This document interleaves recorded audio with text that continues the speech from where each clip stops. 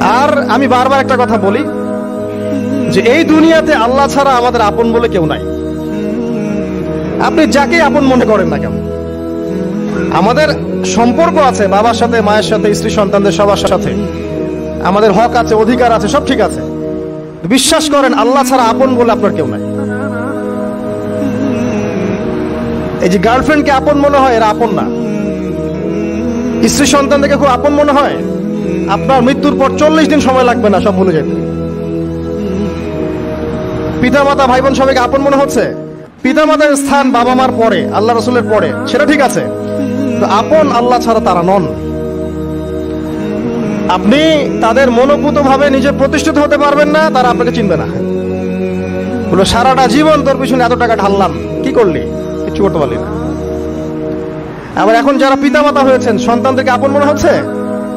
দেখবেন, এই সন্তানকে আপনি আপনার মনোভূত ভাবে সম্পত্তি দিতে পারবেন না ভরণ পোষণ দিতে পারবেন না, এই সন্তান বড় হয়ে আপনাকে বৃদ্ধাশ্রমে পাঠিয়ে দিতে পারে, নাউজুবিল্লাহ। অথবা আপনার সাথে এই সন্তানই খারাপ ব্যবহার করবে।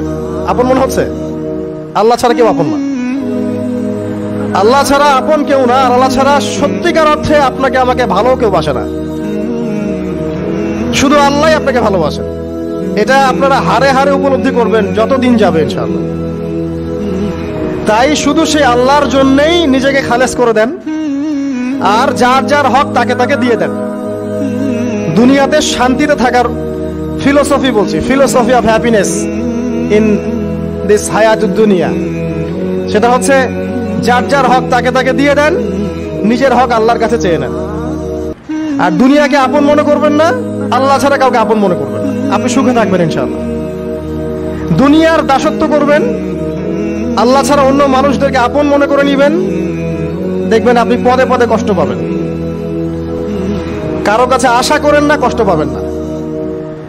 আমি এই প্রসঙ্গে কথাগুলো বললাম যে, দুনিয়াকে আপন মনে করতে নাই, আর আল্লাহকে আপন মনে করতে হয়। আল্লাহকে আপন মনে করলে তখন আমার উপর কিছু দায়িত্ব চলে আসে। কি দায়িত্ব?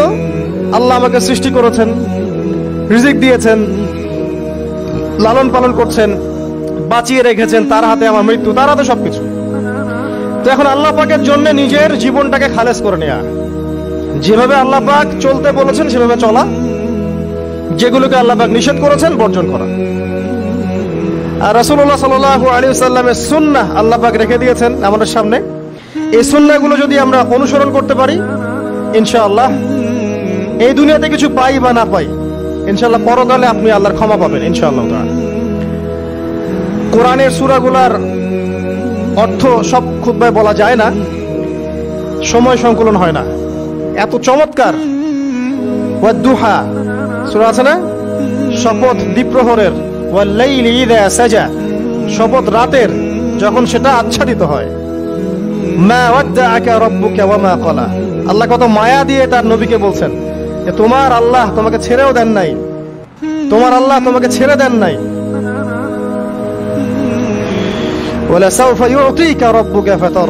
শীঘ্রই তোমার রব তোমাকে দান করবেন এবং তুমি সন্তুষ্ট হয়ে যাবে। দুনিয়াতে চলতে গেলে অনেক দুঃখ কষ্ট হয় না? যারা ইমান নিয়ে চলে, ওদের দুঃখ কষ্ট বেশি হয়। তা আল্লাহ বলছেন, টেনশন করো না, কষ্ট পেও না, তোমার রব তোমাকে ছেড়ে দেননি। বলে, সাউফা ইউতিকা রাব্বুকা ফাতারদা। তোমার রব তোমাকে শীঘ্রই দান করবেন, আর তুমি সন্তুষ্ট হয়ে যাবে। আলাম ইয়াজিদকা ইয়াতীমান ফাআওয়া আল্লাহ বলছেন, আল্লাহ কি তোমাকে ইয়েতিম রূপে পাননি? এরপর আল্লাহ কি তোমাকে প্রতিপালন করে বড় করেননি? ও ওয়াজাদাকা দাল্লান ফাহাদা। আল্লাহ কি তোমাকে পথভ্রষ্ট পান নাই? তোমাকে আল্লাহ পাক হেদায়েত দেন নাই? তো আল্লাহ যে এগুলো করেছেন, সে আল্লাহ তোমাকে পরকালে ইনশাল্লাহ ভালো রাখবেন। তো তুমি এতিমদের প্রতি কঠোর হয়েও না।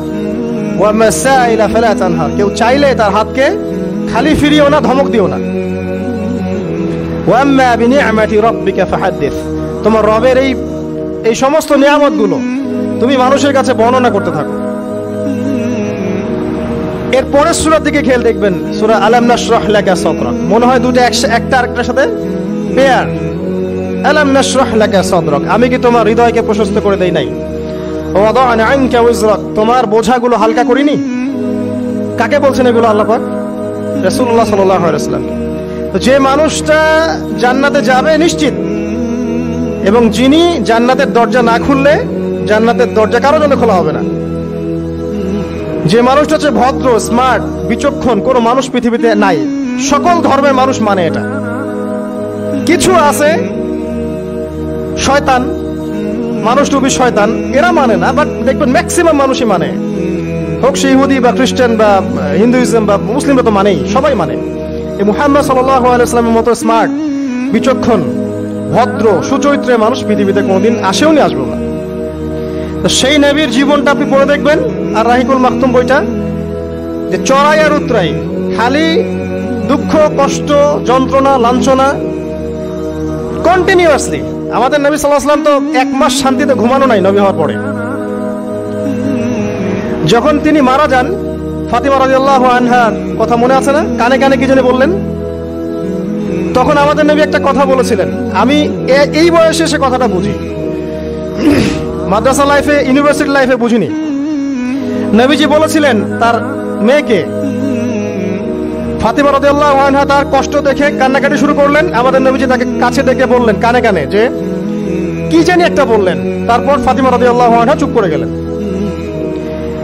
তো পরে জিজ্ঞাসা করা হলো, কি বলেছিলেন? তিনি বললেন, আল আব্বাজান বলেছেন, আজকের পর তোমার আব্বার কোনো কষ্ট থাকবে না। আর তুমি আমার পরিবারের মধ্যে সবার আগে আমার সাথে সাক্ষাৎ করবে।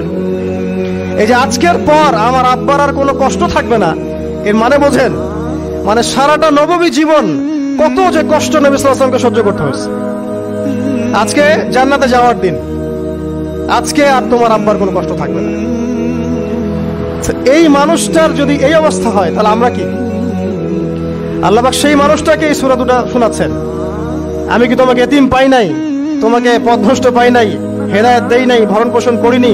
আমি আল্লাহ তোমাকে ছেড়ে দেই নাই? শীঘ্রই তোমাকে দান করব। হ্যাঁ তোমার বোঝাকে আমি হালকা করিনি।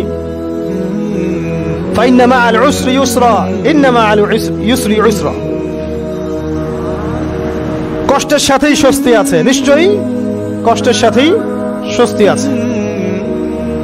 ফাইদা ফাংসাদ ওয়াইলা রব্বিকা যখন তুমি অবসর পাবে, তখন তোমার রবের দিকে একনিষ্ঠ হও। এটাই বলতে যাচ্ছি আমি আপনাদেরকে।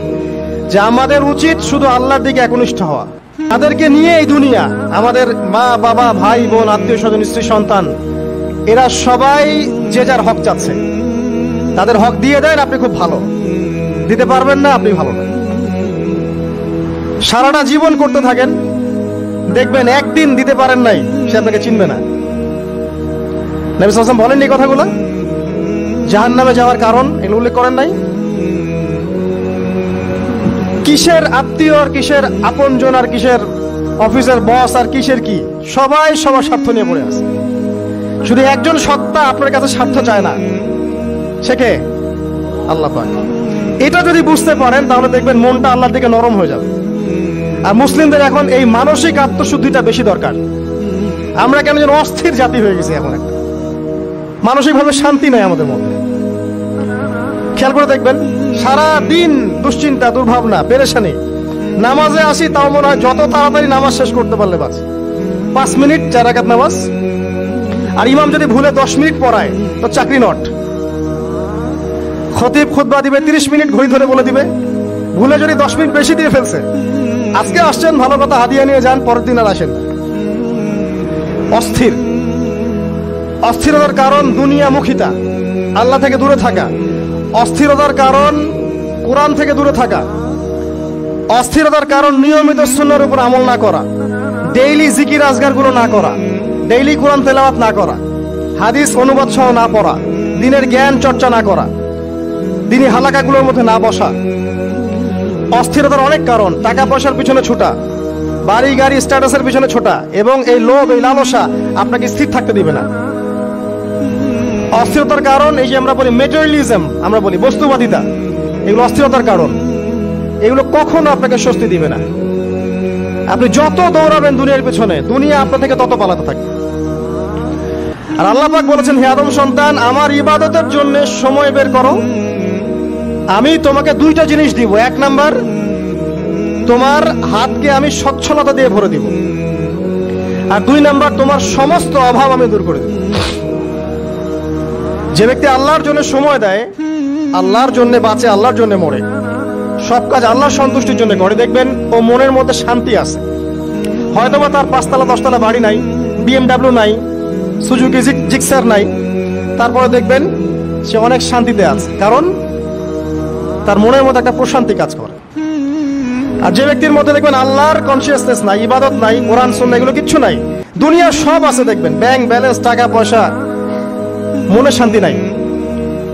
এই মনের শান্তিটাকেই উসমান নদী আল্লাহ বলতেন যে, আলগিনা মানে ধন্যাঢ্য ধনী বলি না আমরা, এটাই হচ্ছে ধন। কিছু না।